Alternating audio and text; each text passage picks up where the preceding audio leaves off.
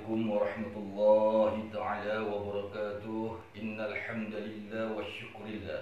أشهد أن لا إله إلا الله وأشهد أن محمدا رسول الله. رب اشرح لي صدري ويسر لي عمري واحلل عقدة من لساني يفقه قولي. أما بعد. Hadirin wal hadirat rahimakumullah. Senantiasa saya berdoa kepada Allah agar kita diberi Allah kesehatan lahir dan batin, rezeki yang berlimpah ruah, begitu juga sahabat-sahabatku, tausiah Islami yang berbahagia. Pada kesempatan ini kita akan membahas tentang keramat dan karomah. Hadirin wal hadirat rahimakumullah, sahabat-sahabat tausiah Islami di mana pun anda berada. Dalam kesempatan ini Allah Subhanahu wa taala menerangkan kepada kita apa itu karomah, apa itu keramat, yang mana identik kata-kata keramat. Ada kuburan keramat, ya, ada pohon keramat, ada danau keramat, semua keramat.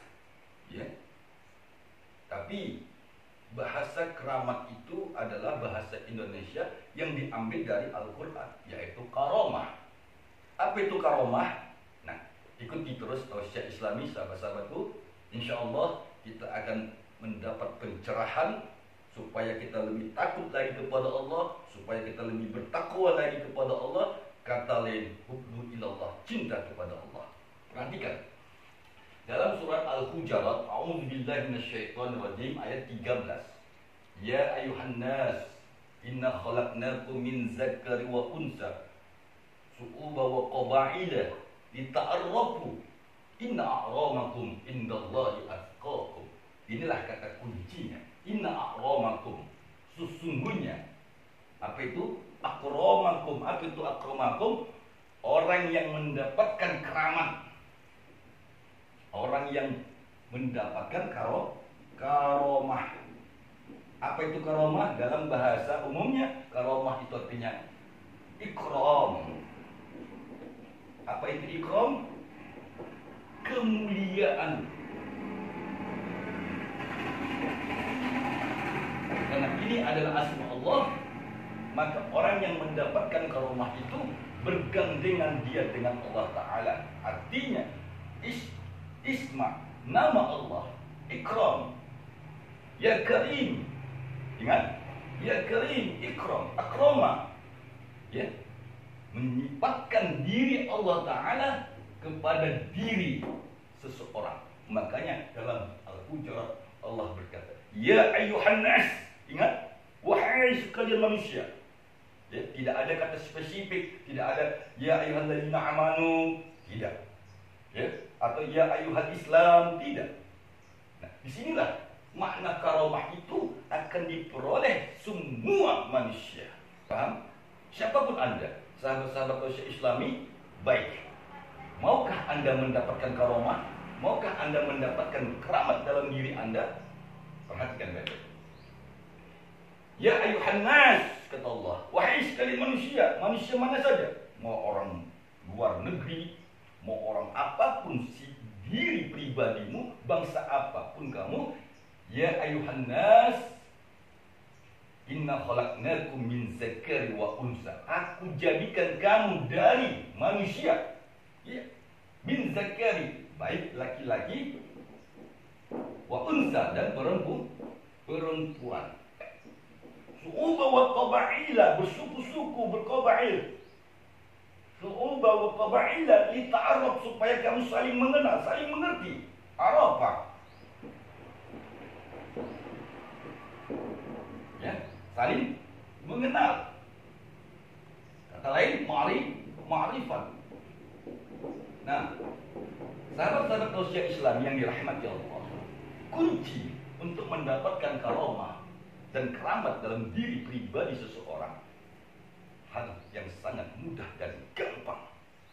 Kenapa? Karena karomah itu bukan milik siapa-siapa tapi milik Allah. Inna a'ramakum sesungguhnya orang-orang yang mulia, manusia-manusia yang mulia di sisiku indallahi atqakum. Yaitu mereka yang bertakwa. Takwa. Ini kata kuncinya. bangun dirimu, bangun jiwamu supaya kamu menjadi orang-orang yang ber, bertakwa. Maka dengan itu pasti karomah dalam dirimu akan bangkit. Innallaha alimun khabir sesungguhnya Allah maha mengetahui dan maha memperhatikan khabir. Apa itu? Memperhati, memperhatikan. Apa yang diperhatikan Allah? Segera gerak gerik tingkah lakumu. Paham? Sahabat-sahabat tausiah Islam membangkitkan keromah di dalam diri pribadi itu suatu hal yang mudah. Kenapa mudah? Karena dia beridentik dengan takwa. Seseorang yang bertakwa kepada Allah dan Rasulnya pasti akan terbangun dalam dirinya keramat. Apa itu? Kata lain kesaktian, mandraguna. Ya. Jadi sahabat-sahabat tausiah Islami, kau jangan lari dari makna Quran dan hadis. Kalau kau ingin mendapatkan karomah, kalau kau ingin mendapatkan keramat, tidak usah susah-susah. Ya. Cukup orang-orang terdahulu yang menderita. Ya. Pengalaman pribadi saya, saya diperintahkan guru saya tiga kali keliling Pulau Jawa. Pada saat itu saya tidak tahu apa tujuan keliling Pulau Jawa melakukan kalau bahasa orang kita Jawa lalakon, ya musafir. Apa itu? Musa, musafir. Musa dan Fir'aun. Perhatian baik-baik. Hati-hati. Banyak saudara-saudari kita, banyak saudara kita orang Islam terjebak dengan kata musafir.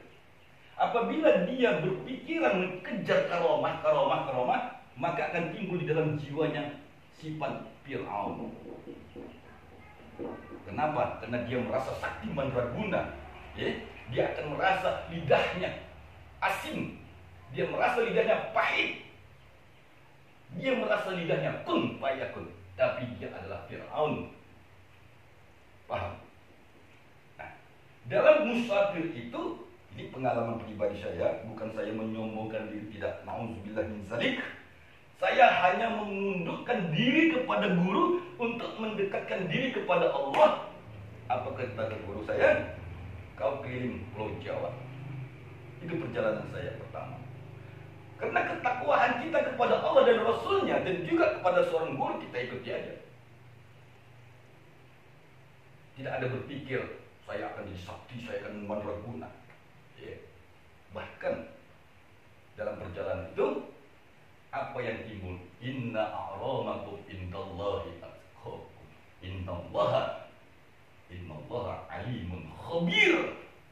Sesungguhnya Allah Maha mengetahui dan Maha khabir, meneliti tingkah laku manusia itu. Hadirin yang dirahmati Allah. Seseorang yang mendapatkan karomah di dalam dirinya ada di dalam Al-Quran spesifik langsung apa itu?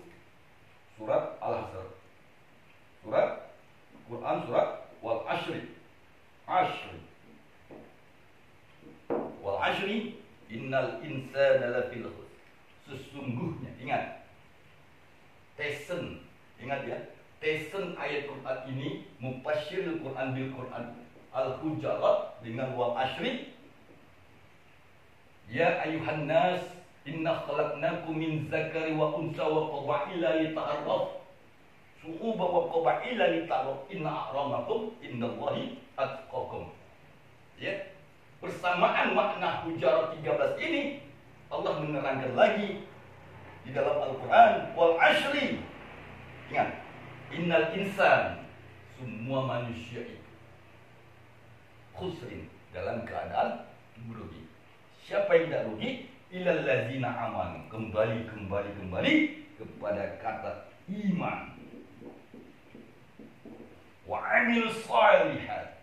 Mereka yang beramal saleh. Bertawassaw bil haq. Mereka yang belajar, belajar yang hak, yang hak. Belajar. Bertawassaw bis sabr. Mereka yang sabar menunggu penantian-penantian wasabiru warabitu penantian dirinya kepada Allah Subhanahu wa taala. Inilah konsep. Ya, konsep manusia kalau mau dirinya keramat. Hadirin sahabat-sahabat tausiah Islami yang dirahmati Allah. Inna a'lamakum orang yang paling mulia. Orang yang paling mulia di mana? Di sisi Allah. Indallahi atqakum. Ya, siapa? Orang yang paling mulia di sisi Allah, dialah orang yang memberikan syafaat. Baik syafaat di dunia ini maupun syafaat di akhirat. Sehingga seorang mukmin mampu dia memberikan syafaat kepada orang banyak. Ya, ciri-ciri orang yang mendapatkan karomah apabila orang itu diminta pertolongan, ya, dimintai pertolongan kepada seseorang itu, orang itu bisa memberikan solusi yang tepat dan benar. Hadirin sahabat-sahabat tausiah Islami, maka bangunlah jiwa ragamu bangkitkanlah kemuliaan kepada dirimu sehingga tumbuh dalam jiwa ragamu keramat, kesaktian, mandraguna. Sahabat-sahabat tausiah Islami, inna a'ramakum indallahi atqakum. Ya, di dalam ayat kursi Allah telah menerangkan kepada kita Allah la ilaha illa huwal hayyul qayyum la ta'khudhuhu sinatun wa la nawm. Ingat, La ta'khudhuhu sinatu wala Bagaimana cara membangkitkan jiwa ragamu supaya kau keramat? Pertama, la ta'khudhuhu sinatu wala Kurangi tidur. Kurangi tidur. Ini yang pertama. Berdasarkan Al-Qur'an Al-Baqarah ayat kursi. Ini konsepnya. Kalau kamu mau mengikuti tariqah Allah supaya diri jiwa raga mempunyai karamah seperti mana yang saya dapatkan dari guru saya. Kurangi tidur. La ta'khuzuhu sinatun wa la. Ingat, karena Allah sendiri tidak pernah tidur. Paham? Anda mau mendapatkan keramat, tapi Anda banyak molor, banyak tidur. Eh, bagaimana? Keramat apa yang Anda dapati? Pasti jawabannya adalah sihir, sihir dan masuk jin. Karena sifat jin itu malas. Nah, sedangkan orang manusia, dia sifatnya bangkit dan bangun aslam, Islam. Paham? Nah, hadirin kurangi tidur. Kalau kamu mendapatkan keramat, la ta'khudhuhu sinatu wa la naum lahu ma fis samawati. Perhatikan apa yang ada di langit dan apa yang di bumi. Man zalladzi yashfa'u Man zalladzi yashfa'u kata Allah Al-Kursi ya. Man siapakah yang dapat? Man zalladzi yashfa'u. Syafaat memberikan pertolongan tadi. Indah illa biizmi Kembali kepada indallah Semua yang kembali kepada sisi Allah Sisi Allah Maka kalimat karomah Kalimat keramat Itu merupakan zat dan sifatnya Allah dalam Asmaul Husna ya Karim bergandenganlah sifat Allah tadi itu dengan sifat manusiamu. Paham? Nah, oleh karena itu gampang dan mudah kalau kau mau mendapatkan keramat dalam diri pribadimu sehingga lidahmu menjadi si pahit lidah. Sehingga lidahmu menjadi kun fayakun. Sehingga doamu mustajab. Sehingga permohonanmu Allah kabulkan dengan seketika. Dan ingat, apa janji Allah? Ya. Janganlah kamu seperti Fir'aun. Paham? Walaupun Musa alaihissalam diberikan Allah mukjizat, kelebihan, tapi dia tidak pernah menyombongkan diri kepada Allah Subhanahu wa taala. Inilah konsep thariqah ilallah sahabat-sahabat tausiah islami kalau kau ingin mendapatkan keramat dan karomah bahwasanya mendapatkan karomah itu suatu hal yang gampang dan mudah yang penting kau mau belajar dan belajar ya seperti mana dalam tausiah yang kemarin ittabi'uni bal la yas'alukum ajrun wa hum muhtadun ikuti kamulah wali-wali Allah itu kekasih-kekasih Allah itu karena mereka tidak tidak ada yang dia cari dalam hidup mereka melainkan ridha Allah. Radhiyallahu anhu wa anhum. Orang yang mendapatkan keramat Allah ridho kepada diri seseorang itu sehingga orang tadi itu apa yang dia ucapkan, apa yang dia katakan, apa yang dia lihat, apa yang dia rasa itu semuanya maujud kembali kepada indallah. Artinya terjadi transisi di dalam pribadi seseorang itu yang disebut dengan khairul adat. Kelebihan-kelebihan di luar nalar logika manusia. Sehingga manusia menyatakan, oh bapak itu keramat. Cipolan keramat, wali-wali Allah itu keramat. Ya betul. Kenapa? Karena pastaqim wajahaka. Dia istiqomah. Nah, kurangi tidur. Sudah? Kemudian tingkatkan iman dan sol solehmu. Lakukanlah amal soleh sebanyak-banyak. Sebanyak-banyak iya. Dan pastaqim, istiqomahlah kamu dalam mengerjakan amal soleh tadi sehingga kemuliaan itu dapat kau peroleh. Mudah-mudahan sahabat-sahabat tausiah Islami di mana pun anda berada dengan sederhananya tausiah kita ini inilah cara mendapatkan karomah berdasarkan Quran yang mudah-mudahan apabila kita amalkan dan itu adalah pengalaman pribadi saya yang saya lakukan tidak banyak hal-hal yang unik-unik dalam mencapai karomah lakukan lakukan apa itu tingkatkan keimananmu perbanyak amal solehmu berbanyak belajar tentang yang hak Watawassaw bil haq. Watawassaw bil haq. Ya, sampaikanlah kebenaran itu ke mana? Kepada dirimu dulu. Cari kebenaran itu pada dirimu. Baru watawassaw bis sabri. Sabarlah kamu untuk mendapatkan kebenaran itu. Karena banyak pemahaman-pemahaman manusia tentang keramat dan karomah. Tapi ujung-ujungnya kujuk-kujuk jadi Fir'aun manusia itu. Paham?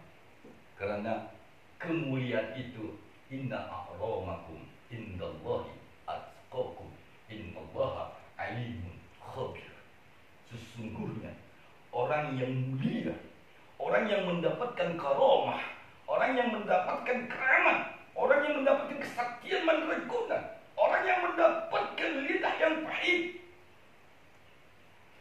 orang yang mendapatkan sabdo pendeta ratu dialah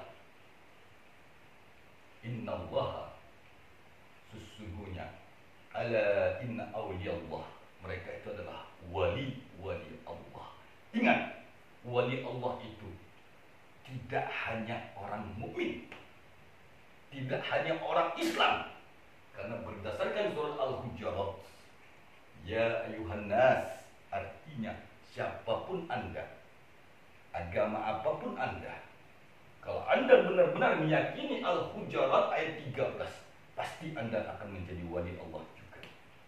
Karena jauh sebelum kita, jauh sebelum kita, bahkan di zaman para nabi, banyak wali-wali Allah yang tidak beragama Islam juga. Mereka duduk di atas gunung, mereka bermeditasi bertapa-tapa berbulan bertahun. Bahkan mereka bukan nabi, bukan wali, mereka rakyat biasa tapi mereka menunggalkan jiwa raganya kepada Tuhan. Ingat, berhati-hati dengan mereka karena mereka korbankan jiwa raganya kepada Allah Subhanahu wa taala dengan bahasa yang sederhana sang yang widi, sang yang petaka. Itu adalah sinonim pendekatan paham mereka kepada Allah.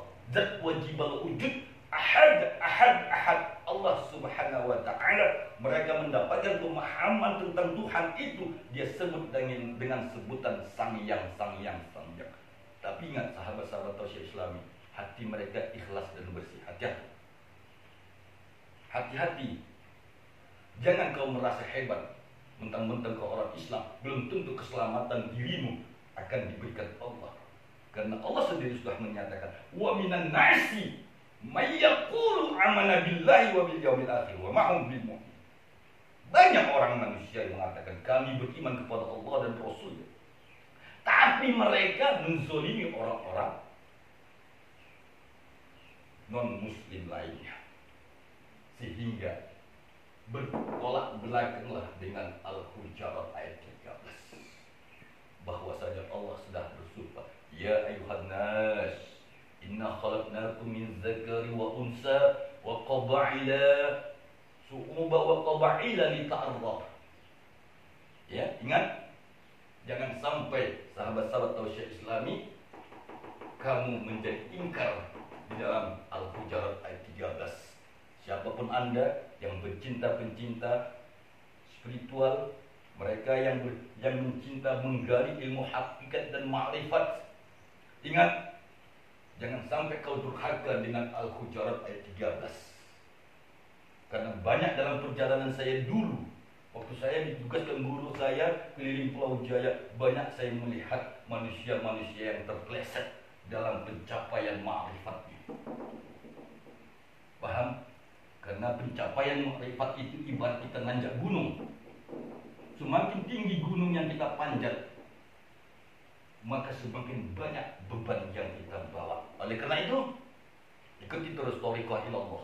Berdoakan kamu semuanya akan mendapatkan karamah dari Allah Subhanahu wa taala. Amin ya rabbal alamin. Assalamualaikum warahmatullahi wabarakatuh.